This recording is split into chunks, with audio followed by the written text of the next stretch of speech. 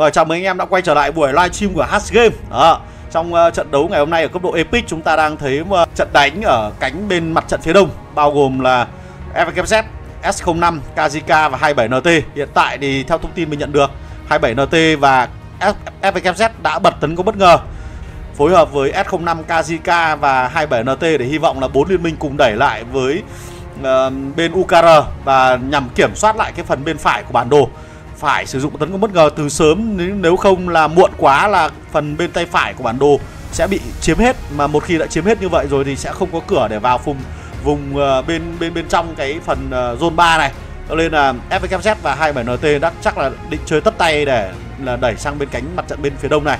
Giờ chúng ta đang xem thì sơ đồ bố trí lực lượng ở từ trên cao, cái màu sắc màu đỏ, màu xanh và màu cam này là bên phía tay phải này là đều của của phe 4 còn hiện tại là màu trắng sáng vàng sáng là của UKR hiện tại các căn cứ của UKR đang ờ, đẩy ờ, đang đặt ở gần cái pháo đài của S05 với cái phần ờ, có biểu tượng là màu xanh. Còn cái những cái căn cứ mà màu trắng này là thuộc phe 4 đấy là mình giới thiệu qua để các bạn nắm được ok? Rồi chúng ta sẽ vào trận chiến ngày hôm nay với màu xanh và màu trắng để cho nó dễ nhìn. Đấy, cảm ơn uh, bạn uh, đến từ S40 đã cho mình mượn cái tài khoản để có để anh em xem nó dễ hơn. Rồi trước tiên thì mình sẽ tắt cái phần tag cờ đi để để nó không ảnh hưởng nhiều đến uh, trải nghiệm của chúng ta và các cái phần uh, quân sự ở bên trong bên trong này đúng không?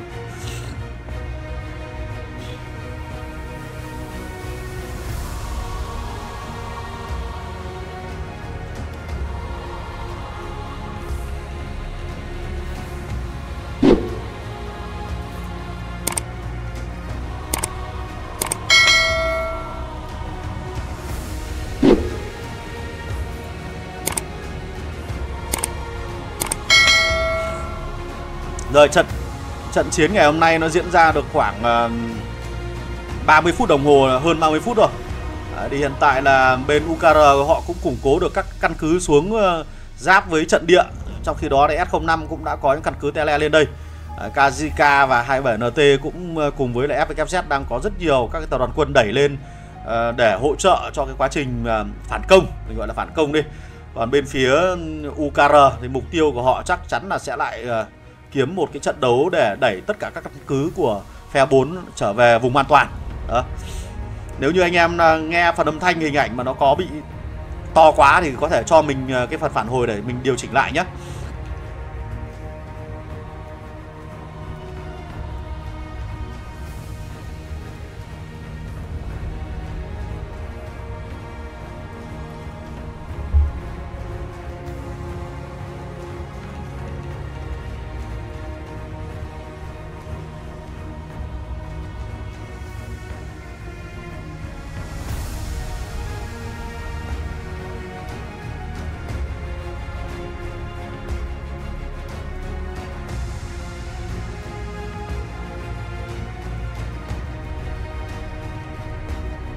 Đấy, bắt đầu UKR đang có những đạo pháo đẩy lên rồi.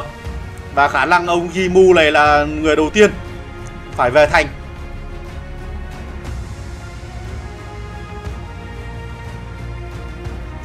Để khắc chế được những đơn vị bộ binh khỏe của kẻ địch Thì bắt buộc là bây giờ chúng ta lại phải lôi giàn phóng tên lửa ra chiến trường thôi. Đấy cho nên là mình cái câu chuyện mình đang chia sẻ là hầu hết tất cả các đơn vị Là nó đều có sự cân bằng rồi cho nên là muốn khắc chế đơn vị này hay là sử dụng đơn vị khác để khắc chế lại, chúng ta bắt buộc phải mang nó ra chiến trường. Đấy. Thế thành ra là chúng ta sẽ có cơ hội được thấy nó xuất hiện nhiều hơn.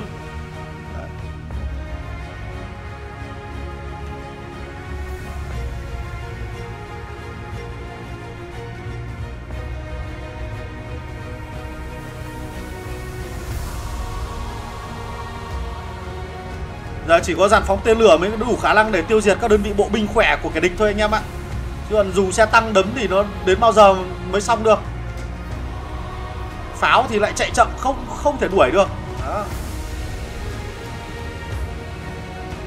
Đấy, sau pha giao tranh vừa rồi thì bên phe 4 lại phải rút về để hồi phục lực lượng rồi anh em ạ. Rồi căn cứ mình đã đoán sai ông này mới là người đầu tiên phải bay màu về thành dưỡng sức. Zopi.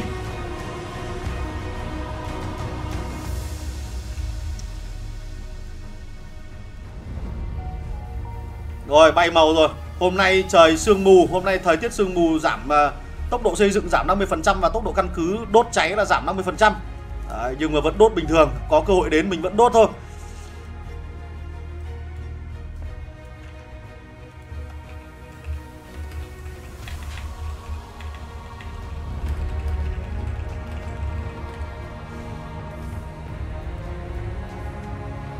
Đây dắt cả pháo đi đuổi rồi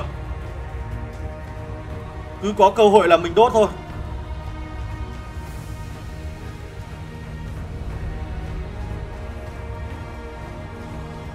Đấy, một phóng của dàn phóng tên lửa mới mới đốt được ờ, bộ binh của kẻ địch. Anh em cứ bảo bộ cứ bảo bộ binh nó khỏe nhưng mình chơi dàn phóng tên lửa đốt lại đây em sẽ sẽ sẽ nhìn thấy này. Đó, điều khéo một chút là ăn được thôi.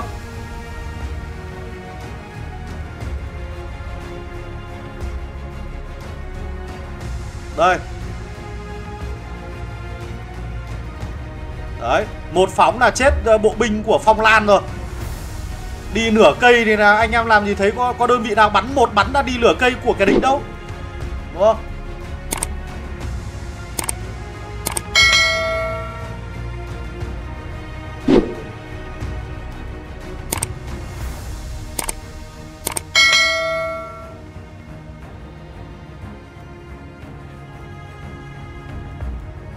Các bạn có thể nhìn thấy âm thanh phóng ờ, phóng tên lửa của giàn phóng tên lửa. Nghe nó rất đẹp nhỉ, Nghe rất hay. Díu díu díu díu díu.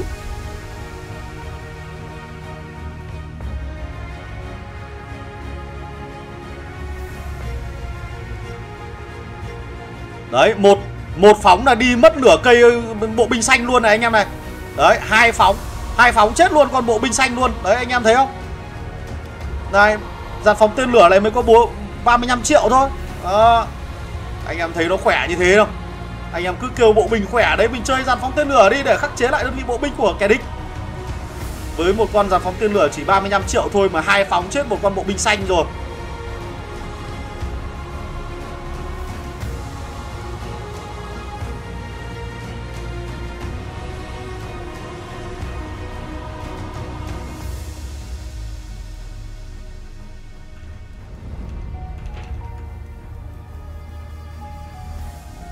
Chưa kể là một phóng là đi một đạo pháo. Đấy bắn khỏe như vậy.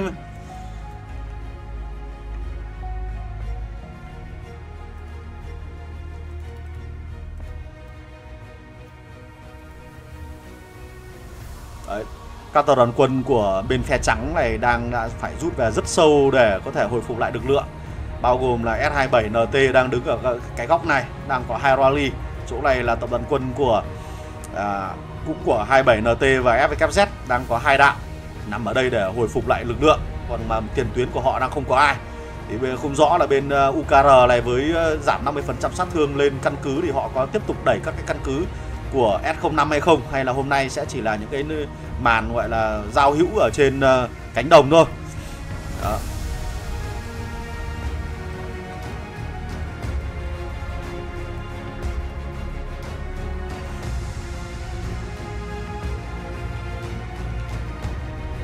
Nếu như không quân của mình mà điều được như bên gốt của S3 và S4 ấy bốn liên minh thì về mình cứ tính 130 người một liên minh đúng không? Mà cho nên là tính nhân 3 lên thôi 130 khoảng hơn 300 người. Trong khi đó thì bên ờ, uh, UKR này thì họ cùng lắm cũng chỉ có khoảng trăm người thôi trăm người online thôi chứ không thể nào mà nhiều hơn được. Mình 300 người mình gấp 3 mà 300 người này mình cứ mỗi người một con tiêm kích bay ra xem. Thì kiểu gì cũng ăn. Quan trọng nhất là mình bay lẻ tẻ thì à, bị thịt luộc hết thôi chứ còn mình bay đều đặn Đấy, đi đâu cũng khoảng độ 10 đến 15 con tiêm kích nó bay cùng nhau xem bạn. Đấy. Và đã ùa vào là phải ùa cùng nhau luôn. Đấy thì cam đoan luôn là ăn luôn. Mình đông người hơn thì mình có lợi thế hơn ở chỗ đó. Nhưng khổ cái thì tiêm kích của mình à, cũng cất ở nhà hết. Và chỉ chỉ đợi xem là có ông nào bay ra không thì ai cũng nhìn nhau thì thì nó mới là thế thôi chứ còn thì khó thôi đúng không? Rồi đạo quân này của UKR đã bị bắt lẻ chết hết rồi. Ở bên ờ, uh, FKZ Phe 4 Bên phe 4 đang ờ, bắt lẻ hết cái đạo còn lại của bên UKR màu xanh nằm đây. Đấy. Cái hai uh, hai rally vừa rồi rồi còn có ba con chạy về.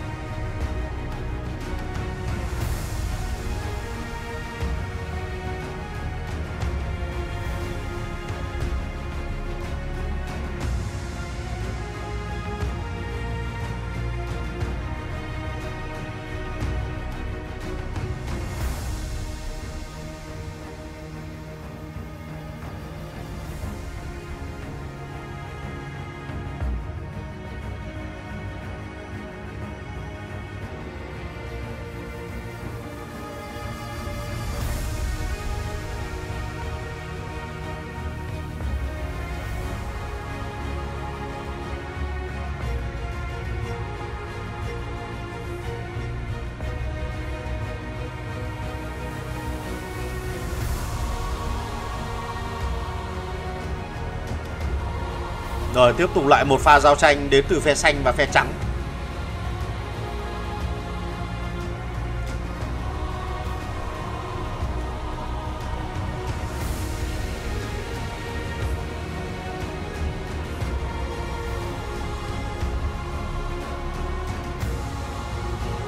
Như mình chia sẻ thì về mặt lý thuyết thì phe trắng nó đông người hơn.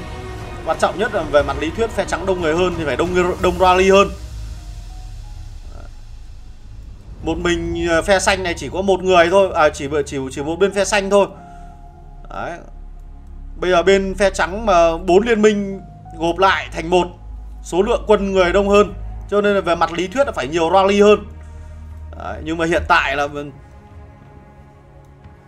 Hiện tại cứ như là bên UKR đang là người có bốn liên minh và đang đấu với lại một một liên minh của bên phe trắng thôi thì phải.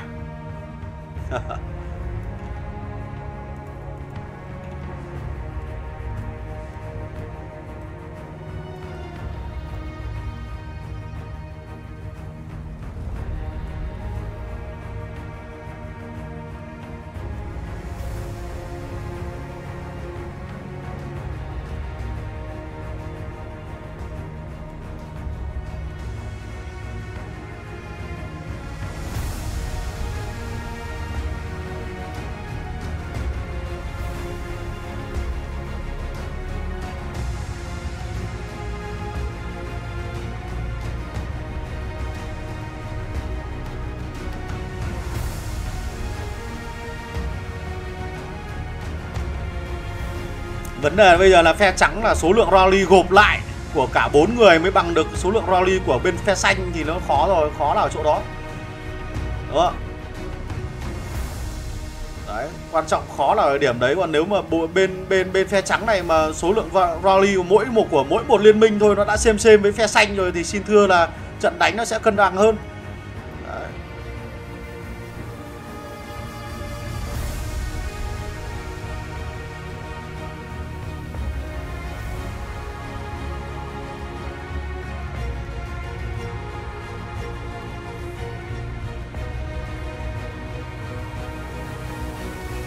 Đó, anh em cứ ủng hộ bằng lượt view, lượt like là ok rồi. Cứ mỗi một video clip mà mình làm ra anh em cho mình một ờ, một view, một like là ổn rồi.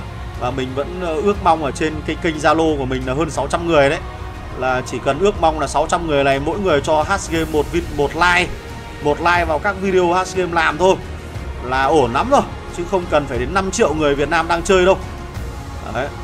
Mục tiêu của mình là vẫn lan tỏa niềm đam mê của trò chơi game Warpath này cho cộng đồng Việt Nam để hình thành được một cộng đồng Warpath Việt Nam nó mạnh hơn. Đấy, với hơn 5 triệu tài khoản đang chơi nhưng mà mới chỉ có được 19 lượt like cho mỗi video thôi. Đấy, hơi buồn. Đấy. Nhưng mà thôi thì cố gắng vậy, anh em cùng nhau cố gắng hỗ trợ nhau. Đấy. Ước gì là mỗi một lượt mỗi một video ra thì 600 anh em ở trong Zalo đấy mà có thể uh, cho một like thôi là ổn là ổn áp rồi. Đấy tuyệt vời.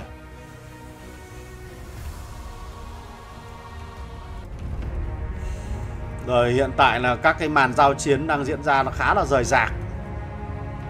À, Các kỳ vẫn đang đi uh, đốt lính ờ, nội bộ của nhau Và bên uh, phía FVKZ này đang có một kỳ đang bị uh, bắt lẻ rồi. Máy bay ném bom thi nhau ném vào đầu của các đơn vị trực thăng. Đấy. Bắt lẻ cái kỳ này rồi.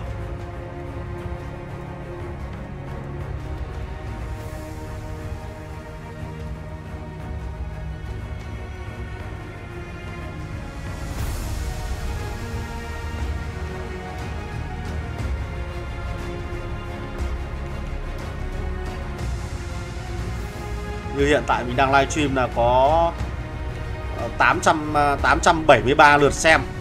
873 ờ, xem mà mà đại chỉ có 43 cái like thôi. Đấy anh em thấy nó buồn không? Đúng không? Tỷ lệ nghe nó thấp thật. À. thôi thì uh, anh em bố thí cho H game một cái lượt like đi. Đấy mình đi xin đi. Đấy, nó hơi thô thiển một tí nhưng mà thôi xin anh em cho nó dễ. Anh em uh, cho H game một lượt like vào đây để cho cái kênh của Hash Game này có thể được YouTube nó ờ, đề xuất nhiều hơn. Từ đó là có thể lan tỏa được cộng đồng của game Warpath này nhiều hơn nữa. À. rồi chúng ta đang thấy được một màn combat nó khá là to. À, các key của bên phe xanh đang được đẩy lên và phe trắng đã phải rút về rồi. Phe trắng thì có cả 27 NT Kazika nhưng mà mỗi bên lao vào lần lượt. À, các à, các tập đoàn quân dường như không hiểu ý nhau. Lao vào lần lượt như thế này thì chỉ tổ hiến cứu cho bên phe xanh thôi. Cứ các bên lao vào lần lượt hiến cứu gần chết hết thì lại chạy ra và đến lượt bên khác lao vào.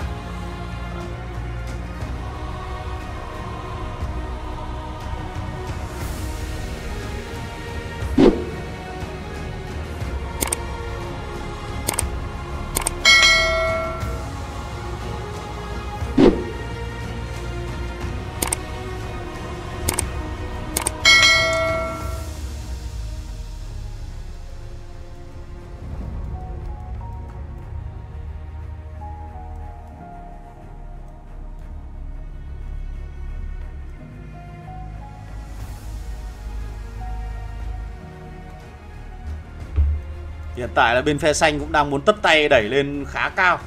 Các tập đoàn quân của phe xanh đẩy hẳn vào đất địch của S05 luôn.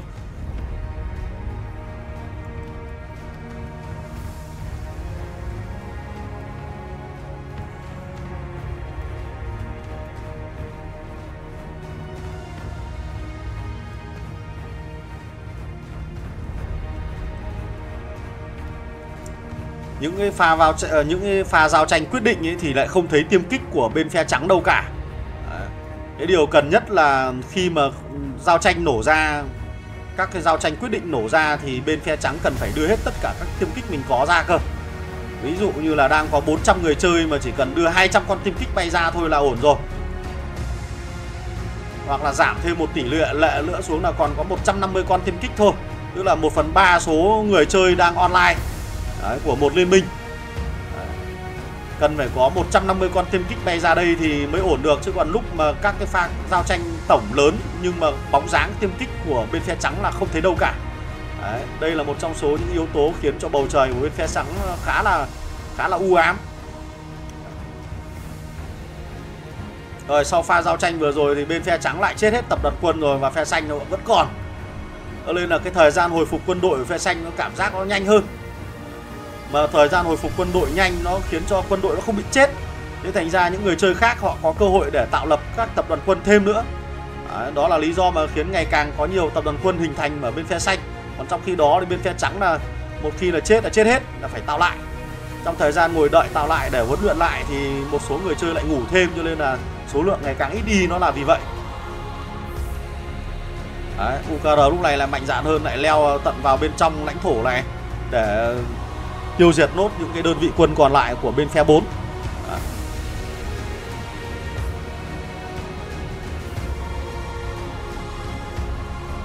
Rồi, pha giao tranh lại lổ ra, may quá mình quay trở lại kịp. Anh em đang xem livestream thì còn còn xem thì gõ cho mình cái số 1 đi. Hiện tại cái kênh livestream ở kênh chat đang đang bị chết. Anh em đừng để nó chết như vậy, Tương tác mạnh lên anh em ạ.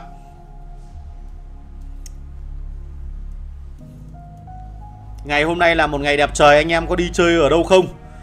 À, Anh em à, có chuyện gì trong cuộc sống sông thì cũng chia sẻ đi. À, Đừng để cái kênh chat đấy nó chết anh em ơi. Còn nếu như mà không ai xem nữa thì mình sẽ tắt livestream và chỉ ghi video clip thôi Sau này up lại cho anh em xem sau.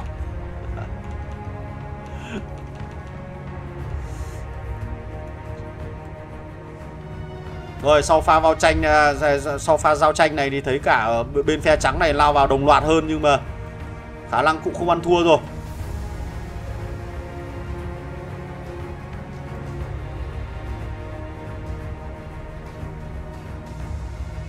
Sau một vài đợt lộ thì các key rally của Kazika này là hoảng hết còn có 3 4 con quay về thôi. Đấy. Sau pha à, giao tranh vừa rồi thì bên à, bên phe xanh vẫn còn, còn bên còn bên phe trắng thì chạy về hồi quân rồi. Đấy. Phe trắng thì còn có một key rally này thôi. À, Của FVKZ Còn lùi lại kịp thời. 27LT thì chết sạch. À. Còn Kazika thì cũng còn một uh, một key còn có quẹ quạt chạy về. Còn key này đang ngon ở đây. Kazika key này vẫn còn đang ngon chỗ này. Khả năng key này ngủ mất rồi.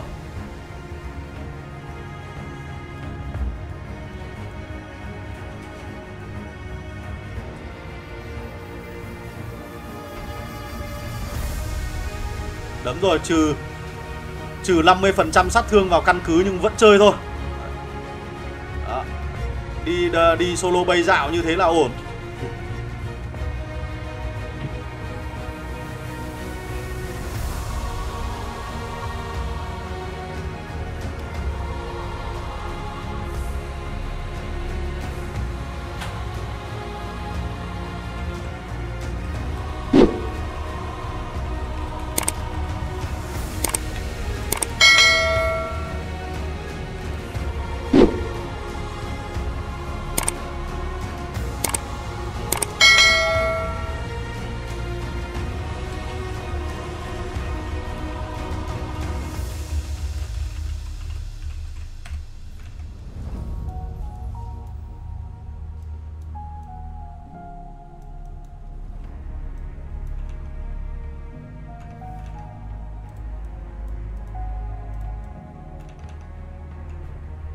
Ở bên phe trắng này mình ờ, không còn thấy nhiều tập đoàn quân nữa rồi. Khả năng là cả bốn ờ, liên minh ở phe trắng này là làm làm ngửa để đợi đến lượt Và không có nhiều rally để tạo và đưa ra chiến trường nữa rồi. Cho nên là cuộc chiến ở cấp độ Epic ngày hôm nay khả năng là diễn ra khả năng là kết thúc ở đây thôi. Đấy, chứ bây giờ livestream như thế này có mà xem đến sáng bởi vì là cứ mỗi một lúc là các bên lại tạo được một vài cái key rally lên vã nhau thôi cho nên là xem nó không được hấp dẫn lắm. Đó, đó. Rồi mình sẽ tạm dừng cái việc ghi video clip của trận đánh ngày hôm nay ở đây. Vẫn livestream thôi nhưng mà mình tạm dừng ghi video clip. Để up lại sau cho bạn xem sau. À, Hiện tại là không thấy bóng dáng các tập đoàn quân của phe trắng nữa. À, Chỉ có thấy phe xanh thôi mà phe xanh đang đợi phe trắng tạo tập đoàn quân lâu quá. Người ngoài xem như chúng mình cũng cảm thấy nó hơi mệt mỏi nhỉ?